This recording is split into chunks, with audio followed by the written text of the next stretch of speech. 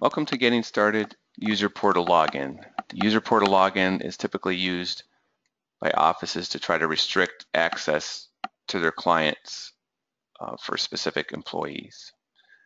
So it has to be set up on their user page, on that specific employee's user page in the security information section where you would label that the only way they can log in is through the user portal login. So as you look here, we have the login. Right below here it says user portal.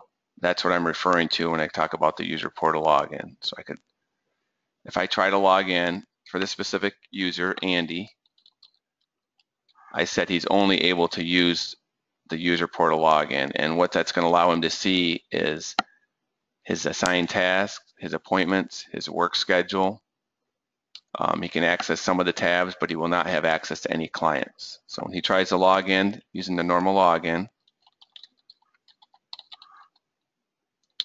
it's going to say you have entered invalid login or your user is not allowed to access the specified system. You may want to try logging in using the user portal link.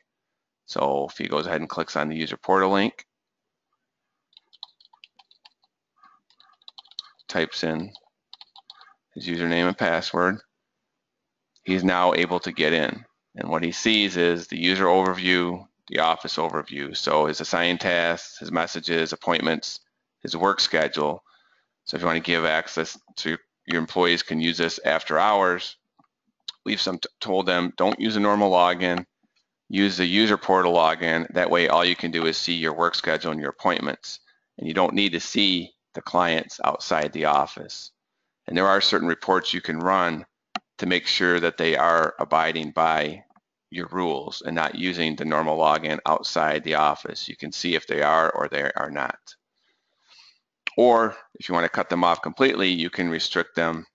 And that's, again, that's set up on their user page in the security information. The problem with that is if you switch them over just to the, the user portal login as they leave the office, you have to switch them back over to the normal login as they come back in for work because you obviously want them to see your clients. So normally we just tell them use a user portal login after hours and don't use a normal login when you're at home.